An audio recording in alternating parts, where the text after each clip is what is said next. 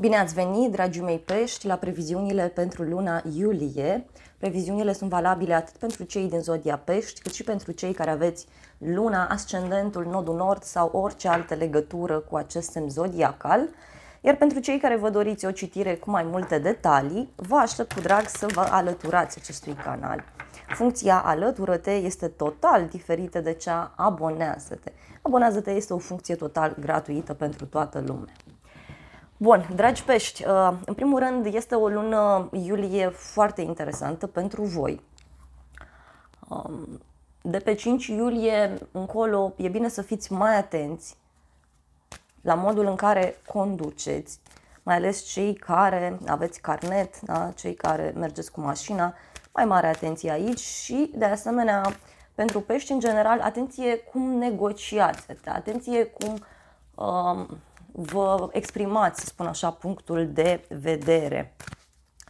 Uh, atenție pe zona negocierilor pentru că se pot pierde bani aici, da? pe de o parte. Uh, pe de altă parte, peștii au o lună iulie foarte frumoasă în care începând cu data de 5 iulie, apoi 18 iulie, puteți să începeți ușor, ușor să rezolvați o problemă care ține de un copil. Deci relația voastră cu un copil sau relația cu persoana iubită. Dacă au existat probleme, acum aveți ocazia să le rezolvați sau cel puțin să vă clarificați și voi cum stau lucrurile. De asemenea, pe 13 iulie avem o lună plină în semnul Capricornului, iar uh, acest aspect pentru voi uh, înseamnă un moment în care puteți să vă schimbați puțin niște planuri de viitor, mai ales dacă discutăm despre un proiect pe care îl aveți în desfășurare. Uh, unii pești pot încheia acum un parteneriat sau pot încheia, știu eu, o, o relație pe care o aveți cu un grup de oameni. Bun, hai să vedem, dragi pești. Uh, în primul rând avem uh, din partea oracolului prietenul perfect și aveți numărul 3, 4, 7 și 34, numere foarte importante pentru voi în această lună iulie. Arhanghelul Racuel este cel care vă ajută și este cel care uh, vă spune că este foarte bine să dați dovadă de o prietenie față de cineva sau față de uh, un grup de oameni. De ce nu? Dacă o să vă dovediți ca fiind un prieten uh, pe care ceilalți se pot baza, să știți că aveți foarte mult ajutor din acest punct de vedere. Puteți să dobândiți multă înțelepciune, puteți să dobândiți vindecare, iarăși alți pești. Iar culorile importante pentru voi sunt mov, roșu, portocaliu. Bun, hai să vedem mai departe ce ne spune oracolul lunii pentru voi. Iarăși, uh, peștii pot uh, rezolva și anumite probleme care țin de zona locului de muncă, dar asta undeva de pe 19 iulie încolo. Iar pentru peștii care aveau o problemă de sănătate, să știți că acum puteți să găsiți o soluție sau, în alte cazuri, vedeți că e un moment foarte bun pentru pești uh, să începeți un tratament sau să începeți o metodă de vindecare. Bineînțeles, relația cu șefii sau relația cu uh, persoanele de la locul de muncă poate fi puțin uh, agitată, dar nu într-un sens negativ. Repet, atenție foarte mult la modul în care voi expuneți problema, la modul în care voi comunicați.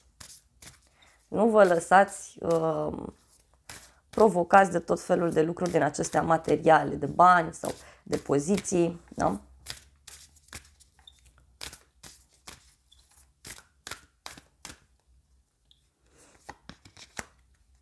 Au ieșit două cărți și pentru voi, dar sunt lipite. Bun.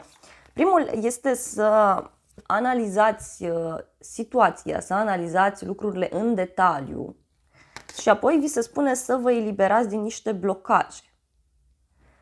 În unele cazuri, cine știe, peștii pot fi acum foarte provocați pe ideea aceasta de comunicare, pe de o parte. Uh, pe de altă parte, acum vedeți că puteți să vă eliberați din niște situații toxice. V-am mai spus că este o perioadă în care voi trebuie să vă concentrați pe uh, teritoriul din jurul casei voastre. Da? Nu mergeți prin străinătate, nu căutați ajutor uh, în niște locuri străine pentru că nu vă este favorabil. Da? Acum pot apărea provocări, cine știe, dar pe care eu văd că le depășiți foarte, foarte bine. Mai ales, dragi pești, dacă vă ascultați intuiția. Asta v-ar ajuta foarte mult. Bun, hai să vedem mai departe. Voi analiza în prima dată viața voastră privată, dragostea, prietenii, iar apoi uh, voi analiza zona profesională, cariera și bani. Chiar o lună bună pentru pești.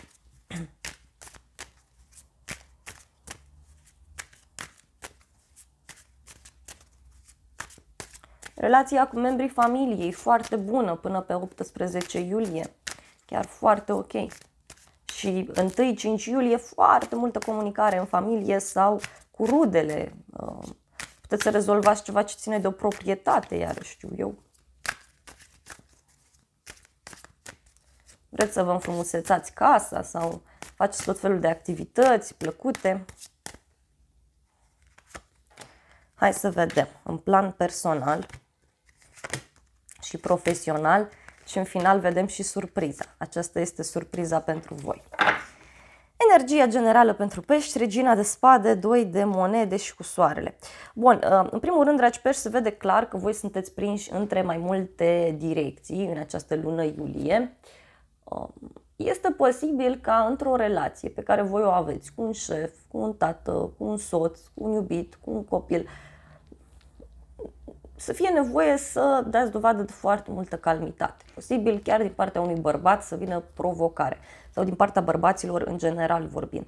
Și poate e ceva ce ține de ideea aceasta de a studia, de o instituție, de un loc de muncă pentru alți pești. Sau poate e vorba de a rezolva o problemă care ține de acte, hârtii, documente. Peștii um, încep să se respecte mai mult, începând cu această lună iulie, încep să se impună, vor claritate în viața lor și chiar sunteți foarte determinați să faceți ordine. Mai ales în problemele uh, pe care le-ați avut voi de mult timp. Hai să vedem, în plan personal, prima carte, 8 de spade. Aici văd că sunteți blocați într-o anumită situație. Există un blocaj într-o relație. Un copil, cu persoana iubită, pentru cei singuri, nu vă găsiți pe cineva. Acum e momentul. Dar o să vă explic pe parcurs pentru că sunt anumite uh, detalii de care trebuie să țineți cont. În familie, nu știu, este un blocaj, vă simțiți blocați, parcă nu se mai întâmplă nimic. Apoi, aveți pajul de monede. Poate fi ceva ce ține de o persoană care studiază sau poate avea legătură pentru alți pești cu cu ideea aceasta de a vă deschide noutăților. Parcă vreți să mai studiați despre dragoste, despre familie, despre prietenie. Vedeți că aveți multe lucruri de învățat în această lună iulie de la persoane mai tinere decât voi sau persoane care au un aspect foarte, foarte uh, tânăr, în ciuda vârstei. Alți pești, nu știu, uh, faceți tot felul de activități din acestea studențești, tinerești, în ciuda vârstei pe care o aveți. Și de aici puteți să aveți foarte multă susținere. Alții, nu știu, vreți să schimbați ceva în casă, să studiați ceva împreună cu o persoană dragă vouă. Ultima carte este 8 de monede. Na, unii pești, nu știu, renovează prin casă, schimbă ceva, iar alții văd că sunteți foarte bine determinați să reparați o relație, cu un copil, cu persoana iubită, sau pur și simplu parcă vreți să mai lucrați puțin la propria voastră persoană, vreți să vă dezvoltați. Iarăși, văd aici că dacă așteptați un răspuns care ține de o persoană dragă vouă și de un loc de muncă, nu știu, că e un frate, că e o soră, un vecin, o prietenă, persoana iubită, un copil, cineva, aici lucrurile se rezolvă, dar trebuie foarte multă atenție la detalii. Bun, hai să vedem în plan profesional. Prima carte, Luna, pentru voi. Aici lucrurile nu vor fi foarte clare, cel puțin în prima parte a lunii iulie, Fiți foarte atenți la locul de muncă pe ideea aceasta de a comunica. Deci mare atenție ce comunicați, mai ales să spun așa, între 5 iulie și de fapt după, după 5 iulie încolo, dacă stau să mă gândesc bine. Da? Parcă lucrurile nu sunt foarte clare în legătură cu statutul vostru, cu cariera voastră. Vedeți că se fac tot felul de învârtele acolo la locul de muncă, deci sunt lucruri mai puțin uh, corecte, asupra cărora e bine să fiți atenți. Iarăși, o femeie v-ar putea ajuta foarte, foarte mult. Și fiți atenți foarte mult la intuiția pe care o aveți în planul profesional, pentru că vă poate ajuta foarte mult. Puteți să fiți salvați de multe situații neplăcute. Pentru că aici totuși văd o situație în care veți fi implicați, asupra căreia voi nu aveți toate elementele necesare. Nu știți exact cum stau lucrurile, intuiți, dar nu vedeți totul clar, nu aveți toate actele, nu e ceva complet. Și alți pești, dacă ești vă căutați un loc de muncă, puteți să găsiți, de e ceva ce ține ori de o locație foarte ascunsă, ori de ideea aceasta de a lucra noaptea sau de a face și ture de noapte. Mai departe, da? cavalerul de monede. Aici văd o propunere pe care o primiți de avansare, de un proiect, ceva anume. Alți pești, nu știu, aveți un coleg nou la locul de muncă sau apare o persoană nouă. Uh, totul se mișcă încet și sigur în această lună iulie pentru voi și asta este foarte bine, repet, mai ales cu luna aici, chiar îmi place această energie. Apoi, ultima carte pentru pești este Regina de Bâte. Dragi pești, regina asta de bâte poate să însemne și o rivală sau un rival, nu știu, o persoană care vă supără. Da? Iar în alte cazuri, posibil chiar să începeți să puneți mult mai mult suflet în ceea ce faceți.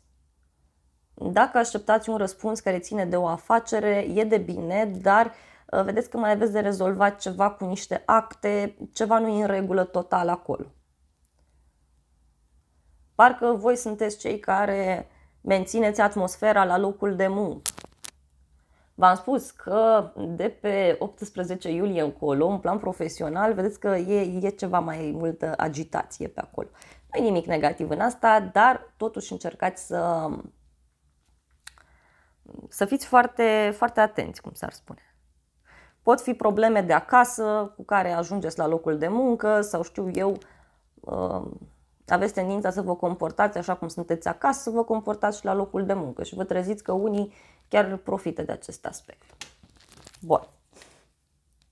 Ultima carte pentru voi, surpriza a lunii iulie, este nouă de cupe. O împlinire, o mulțumire pentru pești.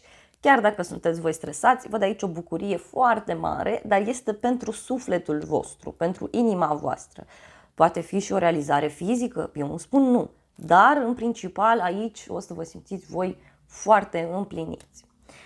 Bun, dragii mei pești, în continuare vreau să clarific toate aceste mesaje cu acest tarot, iar pentru cei care vă doriți o astfel de citire, vă aștept cu drag să vă alăturați acestui canal. Am lăsat un link în descriere și în primul comentariu pentru cei interesați și vă reamintesc faptul că această calitate de membru vă asigură acces la toate citirile bonus pentru toate semnele zodiacale pentru citirile care apar în fiecare săptămână, în fiecare lună. Aveți acces la sute de filmări acolo, chiar și la filmările din urmă, dacă vreți voi să le vizionați. Așa că vă invit cu drag în comunitatea canalului. Eu vă îmbrățișez, dragii mei pești, vă aștept la tarotul zilnic pe Zodii. Nu uitați să vă abonați, să apăsați butonul de like, să apăsați clopoțelul. Aceste funcții sunt gratuite pentru toți. Dacă vreți să fiți la curent de fiecare dată când apare câte o citire și de asemenea vă aștept și la citirile săptămânale. Eu vă îmbrățișez cu drag uh, și vă doresc uh, o lună iulie cât mai frumoasă, în care să se clarifice cât mai multe lucruri. V-am